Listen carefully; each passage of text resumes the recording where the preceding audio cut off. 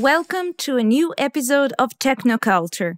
I'm your host, Federica Bressan, and today my guest is Heidi Carine Brimi, a Viking Age archaeologist, CEO and co founder of Hands on History, a resource bank for cultural heritage dissemination and interpretation based in Trondheim, Norway. Welcome, Heidi. Thank you for being on Technoculture. So, today's topic is living history, a unique approach to educating people on cultural heritage. Living history was inspired by historical reenactment, but it differs from it because participants do not play specific roles and they do not stage any particular historical event. They are themselves, and it's all about dressing like, for example, the Vikings, and leaving all modern technology behind smartphones, plastic bottles, even toilet paper, and adopting Viking technology, what they used in their daily lives, knives, cups, and so on. The idea is to live like that for a period of time and get a direct experience of what it was like to be a Viking, how life was then.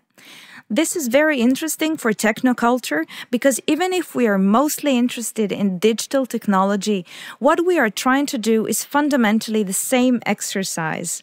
We try to understand what it means to be human today, and this requires a reflection on our technology, our habits, the things we take for granted. It's an interesting experiment to strip ourselves of today's technology and travel back in time to another era and see if it's true that adopting a different technology changes how we think, how we act, ultimately, how we see the world. Hands on History is specialized in Viking themed living history experiences. Heidi, can you tell us what the idea behind Hands on History is? Uh, we wanted to do something that were stripped down and real. Because when you see reenactment uh, groups going to medieval fairs or Viking festivals, uh, they often bring a lot of gear with them. Uh, they have beds, they have tents, they have tables and chairs and all kinds of cutlery, everything not a lot of cutlery for the Viking age, but nevertheless, it's a lot of items, a lot of gear, and a lot of comfort we wanted to do the opposite thing. Uh, how would people travel if you were crossing a mountain range, going hunting? Uh, going from A to B on foot, what did you do? Uh, how did they manage? What kind of equipment did they need? How did they think about their journey? This is a time, a thousand years ago, there were no roads, no infrastructure of any kind like we have today in Scandinavia. So uh, we wanted to experience the past times in a very direct way with all the senses and the emotions, the joys and fears, the freezing at night, the joy of getting there, everything, the journey, the whole journey, and do it the proper way. And to do that, we had to get rid of a lot of these comforts we usually have at festivals and markets. So we figured out it's hard to travel through boggy Norwegian mountains because they are boggy and, and the forest as well uh, if you have too much to carry. So we only take what we really, really need with us. So almost all the items and all the gear we have with us is multi-purpose.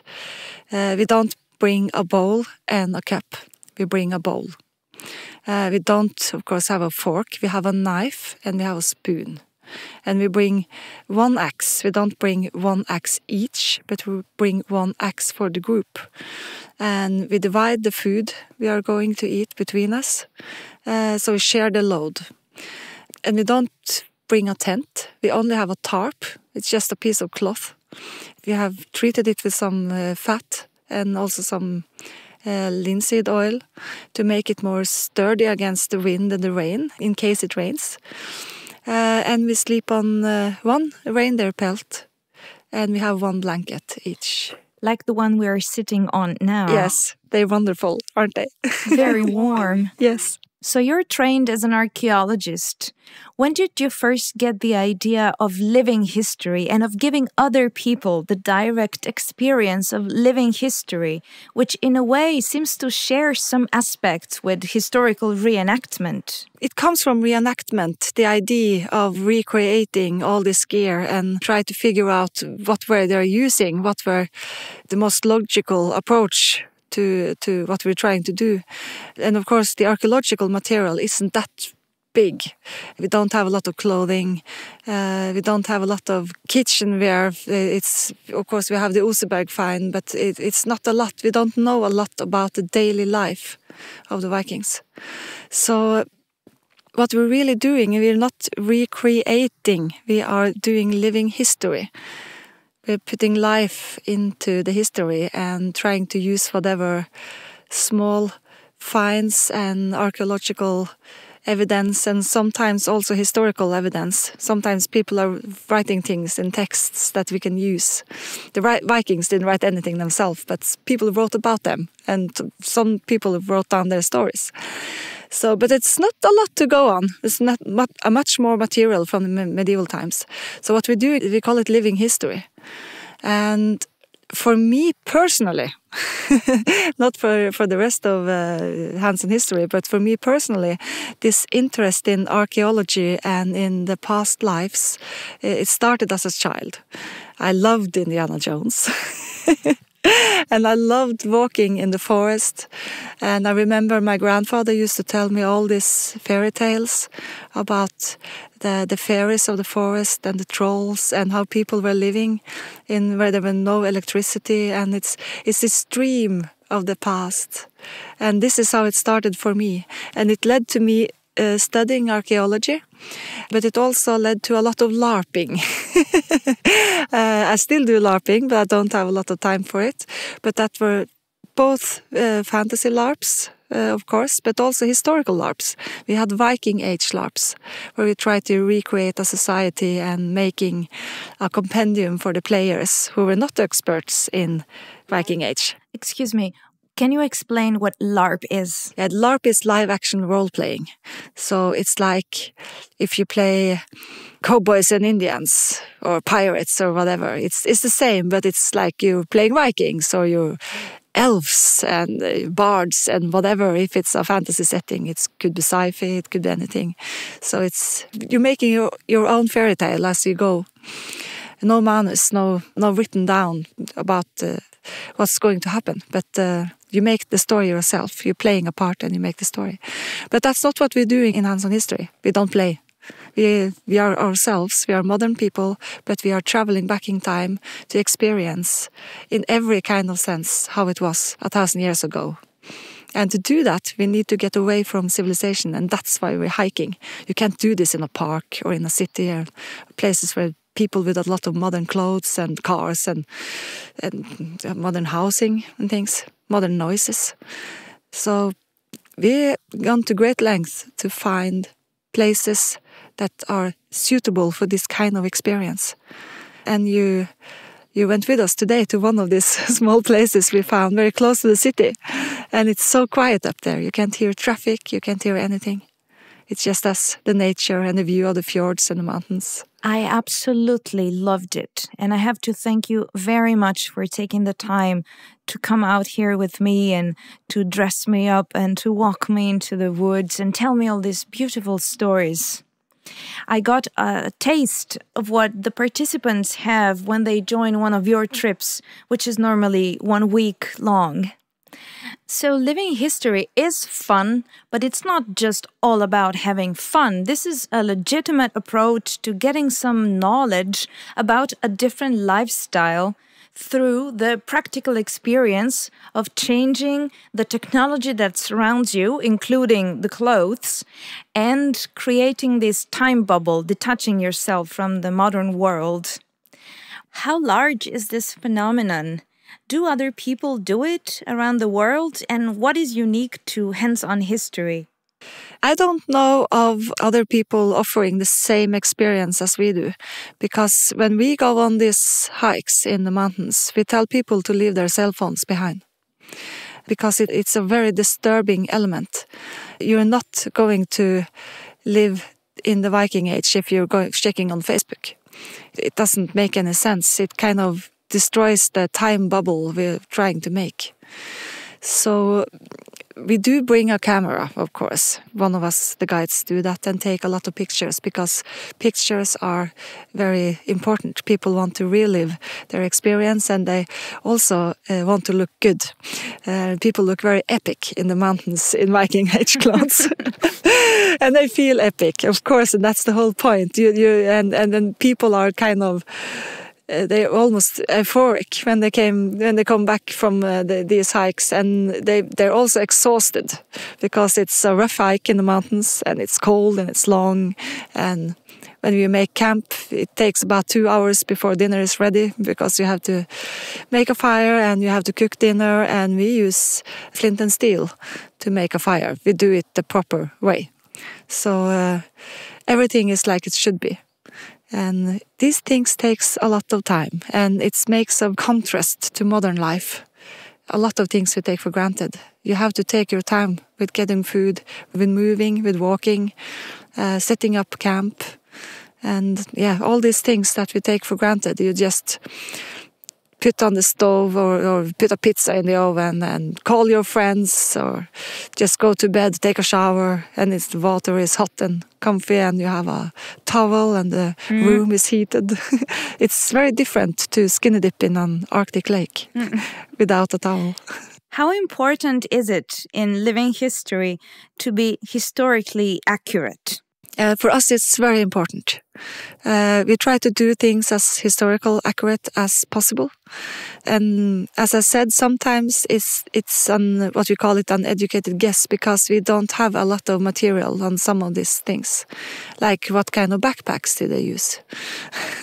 we don't have a lot of backpack finds from the Viking Age. It's just about a two, 250 years period. So it's, it's not a long time. So we have to improvise. We do that. But we tell people what kind of finds the bowls we use. They're made from finds from Birka in Sweden.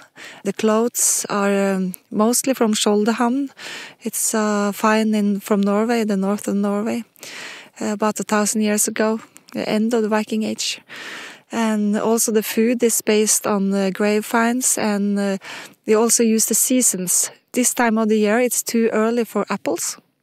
We're in early August, and the apples in Norway and in this part of Norway they are they're, they're not ripe yet, so we have dried apples, of course, and the vegetables, everything. It's uh, this, it's of the season. Is there anything that has revealed itself to you, something you have learned while hiking about a piece of equipment or about a habit, a custom, just because of the practical experience and that shed light on a particular aspect of the Viking life or their technology? we're testing it. it's just field testing. It's not. Uh, it's not like experimental archaeology because we don't do this uh, the scientific tests on the material, but we do the test for practical purposes. We want to know if this will function. So we did quite a few uh, test hikes with equipment, and it ended up like how little can we bring with us, because uh, it was quite obvious that you don't want to bring anything you don't need, but you need to bring some essential things. You need to make a fire. You need an axe. You need a knife. You need a bowl, and you need some food that won't spoil and you need something to sleep on. And the reindeer pelts are just wonderful for that. They're so insulating and warm. But the Vikings were not nomads. No, no, they were so farmers. So it's not all about traveling, moving. They also had settlements. Yes. They were a farming community and they did trade with the Sami people in Scandinavia and they were hunter-gatherers, uh, hunting the reindeers and other animals as well. But the Vikings, uh, or what the Europeans called the Vikings, the people living up here, uh, were farmers and fishermen, and also traders, but sometimes they were raiders, of course. But there's a lot more to that history than just raids. Can you describe what we are wearing right now? For example, what did you put on me today? Yeah, you have um, a hood. Uh, it's made from a fine at Skjoldehamn, in the north of Norway. It was a grave find. A person was found with fully clothed within some blankets. And uh, the hood was, uh, this is a copy of the hood of that, that person. And so is uh, the tunic. And the tunic is a very, it's a very simple uh, form of tunic. You find it throughout Europe in the Viking Age and also in medieval times. It's the basic tunic uh, with some extra width uh, to to down. It goes down to your knees.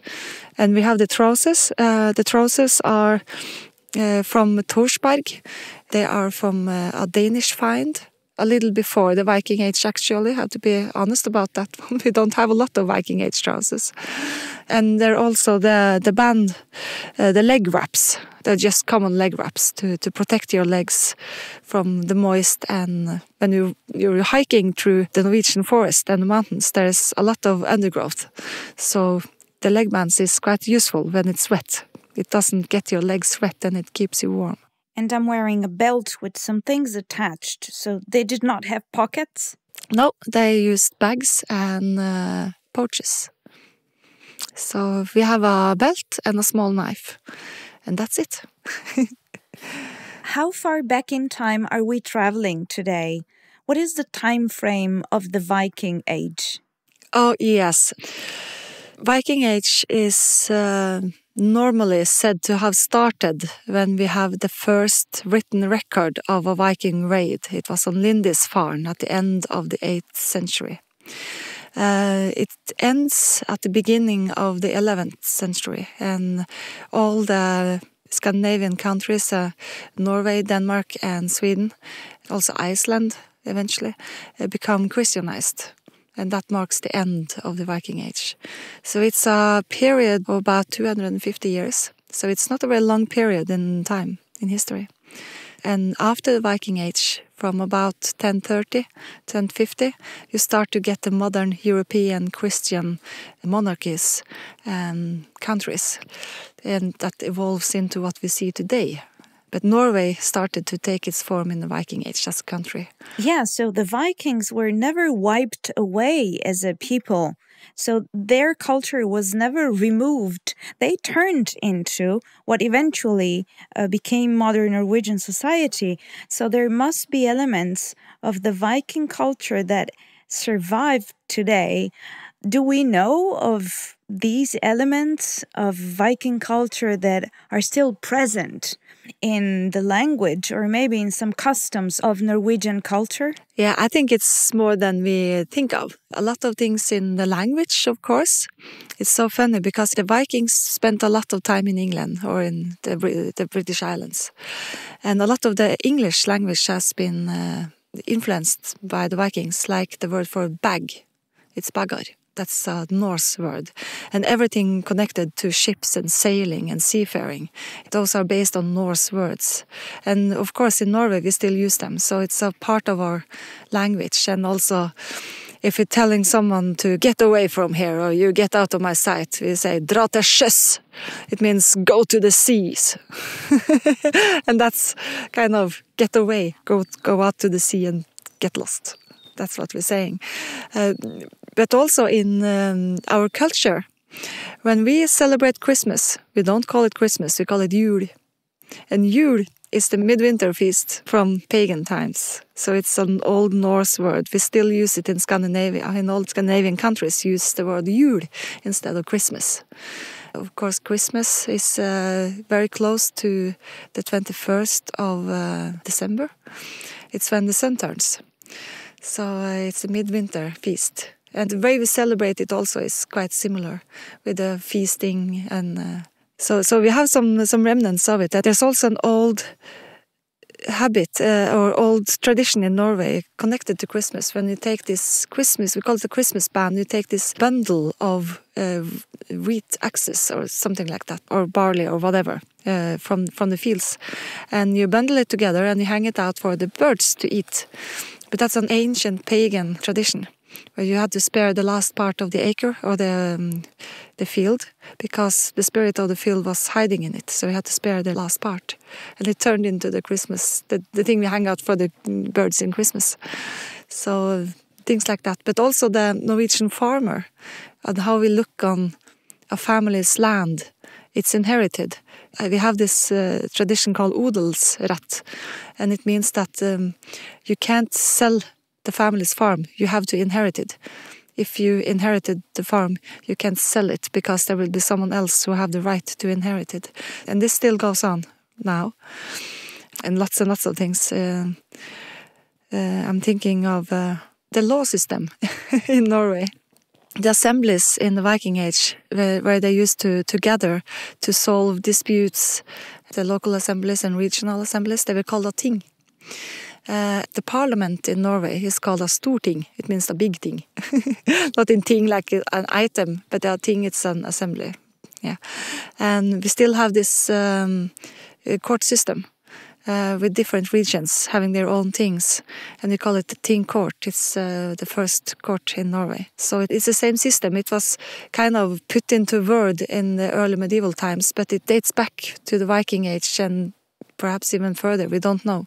As I said, the Vikings themselves they didn't write anything down. Everything was told. So uh, there was this lawman who knew the laws and uh, all the stories, the sagas, everything was told, uh, the myths of the gods and everything. It was just vocal, oral, oral. Yeah. Uh, who called them Vikings?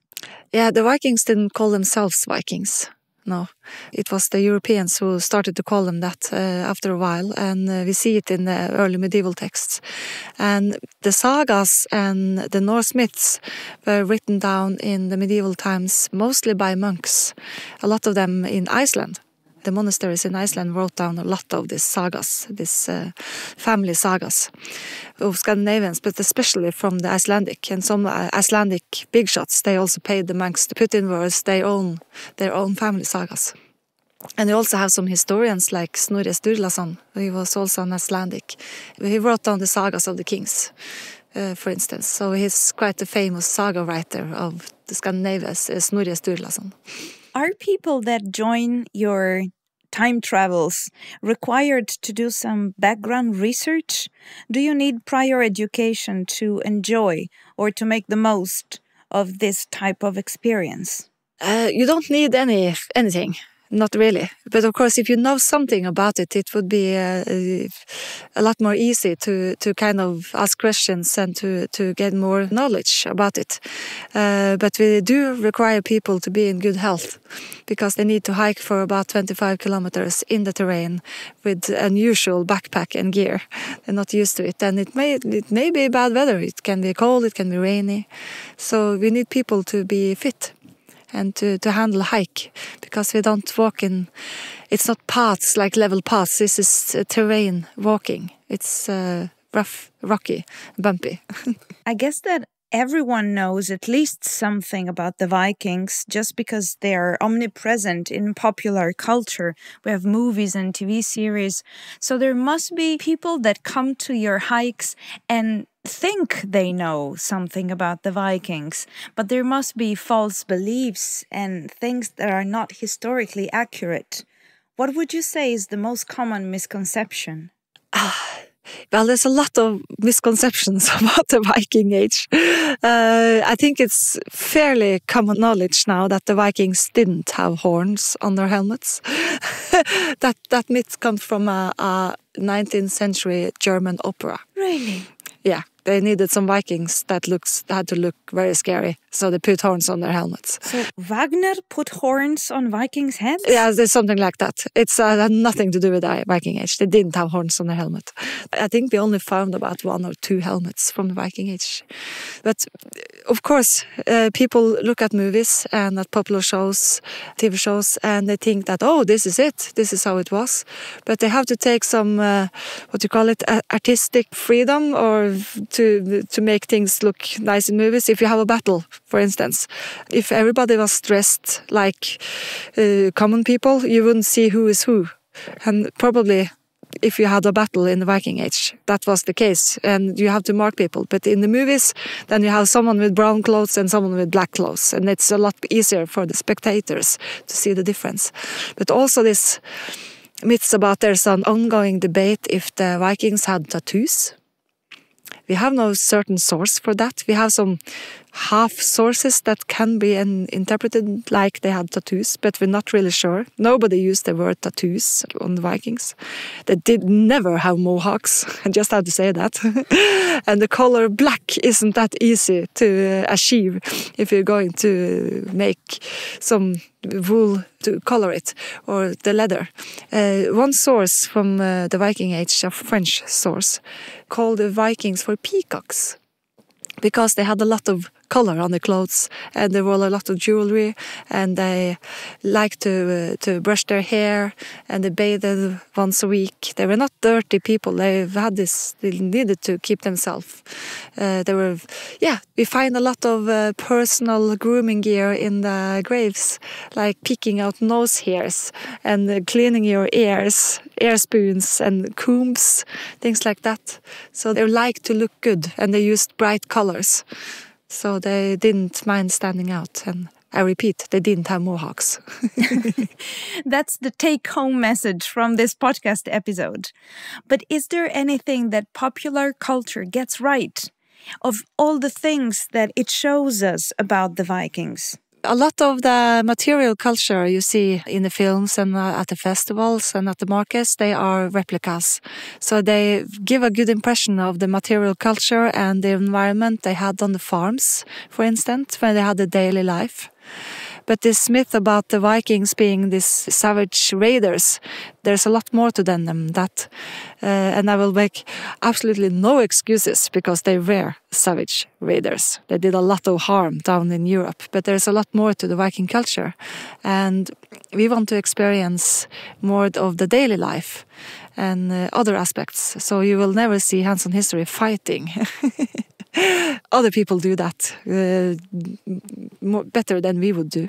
Um, we want to have daily life and everyday people uh, at our focus to experience what it would be like for a person living in the Viking Age, not a Viking warrior, because a few persons were Viking warriors. Most people stayed at home, tended their farms, uh, had children, and uh, looked after the cattle and tried to stay alive that was was life was most, most about. So that's what we're doing. How powerful, educational, transformative an experience with living history can be. What are the aspects that surprised you the most or your participant the most? Some things that people say, I didn't expect this, or I thought this would be harder, this is better than I thought. What are some small revelations that emerge during this experience?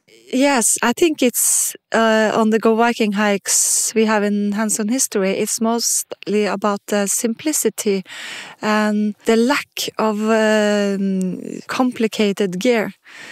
As I told you, it's just a bowl and a spoon and a knife and some food. It's very, very simple what we bring with us. But this works. It really, really works. And it works just as well if you go hiking in modern clothes. I don't freeze more and I'm not more hungry and I'm not more exhausted if I hike in Viking age gear and than if I hike in modern gear with Gore-Tex and whatnot.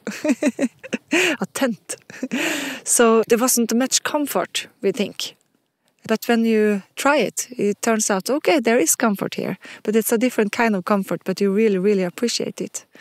And there's also this slowness about hiking in the Viking Age uh, manner.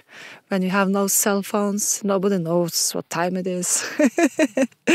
and you're just going to go from A to B. And you're going to set up camp and you're going to make some food and then you're going to sleep. And nothing is there to disturb you. There's no modern technology, you don't see any houses, there's no uh, vehicles, no cars, no nothing. Just you and nature and the little gear the few items you brought with you, but that's enough. Mm -hmm. So, with living history, we go back in time and we learn about, for example, the Viking Age. But we also learn something about ourselves because when we come back, so to speak, we see things differently. So maybe participants at the end of the week, they have also learned something about today's lifestyle. Yeah, they I, I, think they appreciate a hot shower a lot more after have been skinny dipping in the Arctic lakes. The, the the temperature in the lakes are like 13 degrees. It's not very hot. And also all the things you take for granted, all the things you don't need at all. Because when you go on these Viking hikes, you need everything you bring with you. You don't have one thing you don't need. The only thing I bring that I usually don't use is the first aid kit because we do think of safety, of course. So we have means for contacting the modern world if somebody breaks a leg or falls off a cliff. And we never had any accident like that, but it's good to be safe. The mountains can be a very dangerous place, and during the Viking Age and also in medieval times, and right up until the 19th century, when modern tourism started to take off, started to, the mountains and the forests were considered a very dangerous place for good reason. I would like to thank you for being on Technoculture and most of all for the incredible experience of the hike in the beautiful Norwegian woods. Thank you very much. You're welcome. I'm delighted to be invited to your podcast. It's uh, it's been a very fun experience, and uh, I hope it has been so for you. Unforgettable. Thank you for listening to Technoculture. Check out more episodes at technoculture-podcast.com or visit our Facebook page at Technoculture Podcast and our Twitter account, hashtag Technoculture Podcast.